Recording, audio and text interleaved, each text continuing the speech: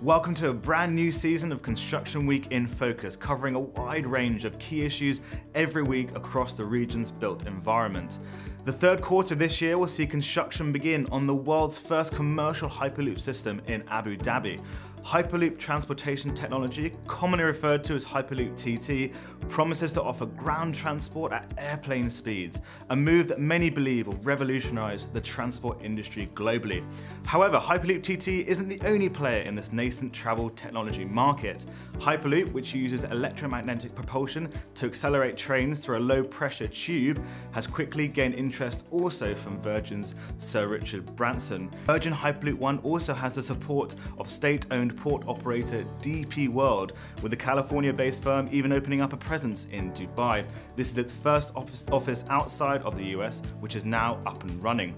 The Virgin Hyperloop One pods will carry passengers between cities at an affordable cost, which will be on demand and direct to destination journeys. These journeys will be so comfortable that passengers won't even spill a drop of their coffee over an entire trip. That is according to Josh Giegel, Virgin Hyperloop One's Chief Technology Officer and co-founder. So, when can passengers of Virgin Hyperloop One get a real first-hand experience of what a journey could look and feel like? Well, the end of November 2018 saw the California-based group announce that it had indeed joined forces with the team at United States Pavilion at Expo 2020 Dubai. The US presence at Expo will see Virgin Hyperloop One premiere its Ride Experience, one of a number of innovations showcased at the Pavilion, which was announced at an official launch event, as I said, in November last year, at which Construction Week was in attendance. Ryan Kelly, Head of Marketing and Communications at Virgin Hyperloop One, who was also there, said the experience will go further than, and I quote, a virtual or augmented reality ride. Kelly said riders will actually feel G-force that is similar to that of an airplane.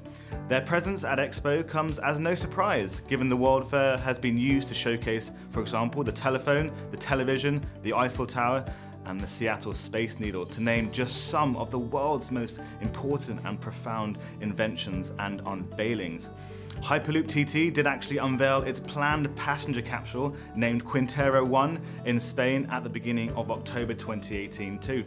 Constructed almost completely out of Hyperloop TT's specially made dual layer smart composite material Vibranium, the unit measures 32 meters, weighs a whopping 4.5 tons, and has 72 sensors as reported by Arabian Business at the time.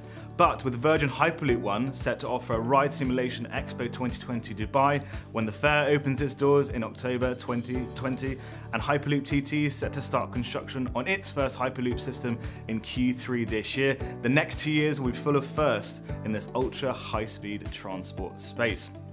You've been watching Construction Week in Focus. We'll be now publishing new videos every Sunday and Wednesday at 4:30 p.m. And if you want to keep up to date with the videos we're putting out, including those from our sister titles, you can click the subscribe button just below or visit our YouTube channel, Construction Week, for more great videos. And if there is any topic that you would like the team to discuss in another episode, do please get in touch with myself or anyone else here. Our contact details are down below in the description box. But until then, thank you very much for watching and goodbye.